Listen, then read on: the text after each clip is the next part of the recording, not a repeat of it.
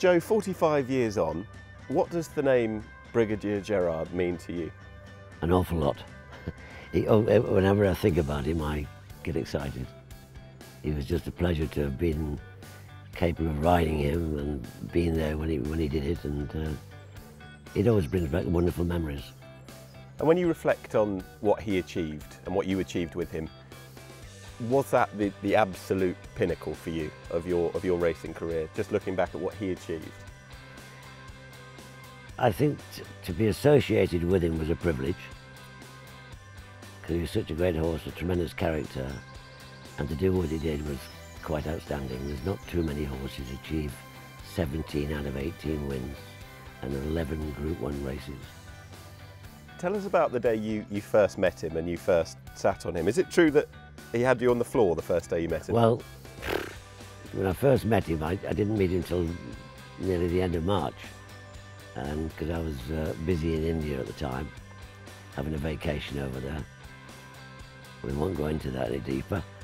And uh, Bobby Elliott wrote me a letter. He said, you know, please get back as soon as you can. He said, we've got something special. So I'm looking forward to getting back, which I did. Eventually, when I arrived back, I was pretty fit when I came back. And I went riding to, Dick Hern's, and just rode him out from the yard, and they all said, now watch him because he'll have you. And five minutes later, he had me, bang on the floor. He's just duck and dive, you know. He said, that's it now. He said, he won't do it anymore. And he never did. But he did everybody who sat on him first morning off. And he'd just take one look at you and say, you're in your right place now, boy. Stay there. at the same time, we had some very, very good two-year-olds. Well, he was chalk and cheese against them. And I'll never forget the first time we ran him, and I've got the card in the office. Six runner, six runner field, five winners in the field. And he was the outsider. And he just made him look like hacks. Not too bad in hindsight, is it? Oh, he, was, he was a great horse. A great, to be associated was something quite nice because he only had basically two people ever sat on him. Buster, three, three people. Buster used to ride him out, and his own boy Ian, because he, he was a very, uh, not temperamental, but he had this thing like he'd be walking along and he'd stop. And uh, he wondered why he'd stopped, and he could probably see five or six lambs away in the field. And he'd have to study them for a second or two, or maybe a minute or two, and then he'd, then he'd walk off. So you just left him to it, you know, you didn't bully him because you couldn't bully him. And uh, it was just an association with him. And Buster used to ride him and say, I say, well, what do you think, Buster? And he said, he's something special, really special.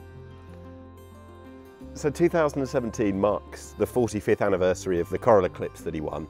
And unblemished, 10 out of 10 going into that season. And just how excited were you to, to go through that winter to know what you had waiting on the other side? Very. Looking forward to it all the time. But getting back to the eclipse, I mean, he was touch and go whether we ran him or not. And we all walked the course and thought, well, you know, it's very soft, very heavy, but there was a strip there which wasn't too bad. So we said, well, we'll run. And luckily, uh, he's a very brave horse. Obviously much better on top of the ground than he was on the soft. And uh, he struggled on, he won, but barely. It was only a short margin.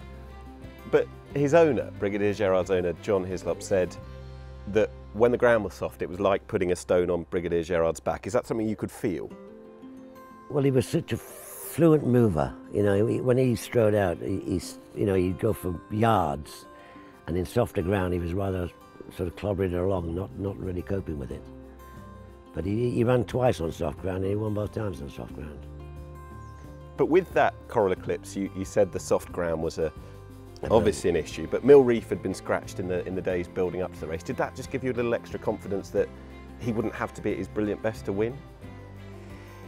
Yeah, to a point, but uh, at a mile, a mile and a quarter, you know, Mill Reef is a mile, a mile and a quarter, mile and a half horse. It would have been, it would have been touch and go, particularly in that ground. I think Mill Reef would have beaten him. I'm sure he would have done. But luckily he didn't run, so that was good.